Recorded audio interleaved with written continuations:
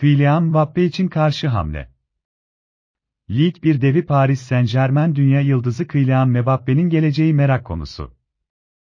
Fransız oyuncunun Real Madrid ile anlaştığı ve sezon sonunda bedelsiz olarak İspanya'nın yolunu tutacağı iddiaları güçlenirken, PSG'den karşı hamle geldi.